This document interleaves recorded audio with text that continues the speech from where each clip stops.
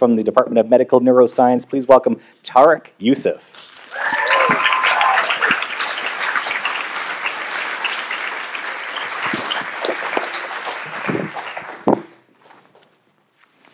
Who here uses Instagram? Raise your hands. Wow, okay, that's a bunch of people. All right. Who here loves the smell, the taste of an Instagram photo? Mmm. Oh, okay. Well, exactly. We love it because we see it. One billion Instagram users prove we're obsessed with what we see. I study how we see. Picture Corey. New to Instagram, he asks his sister to capture a magical sunset. She sees the beautiful background and the details of Corey's face as his dog steals a kiss. She can even see a huge pimple on Corey's nose. Snap. Oh no, poor Corey. You can't see him in the backlit photo. And lucky for him, you can't see that pimple.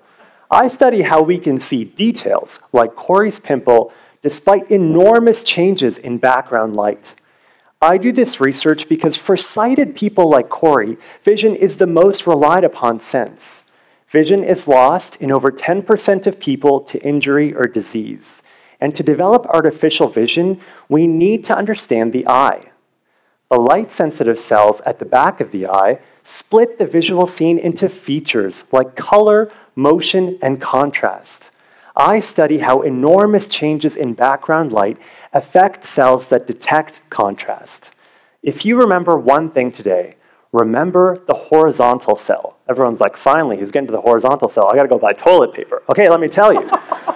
Horizontal cells tell the brain about contrast by comparing the average light in a scene to smaller light signals.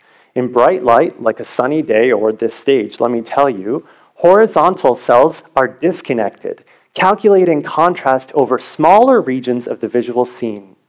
In dim light, like dawn or dusk, horizontal cells join together, sampling a larger portion of the visual scene for the best measure of background light.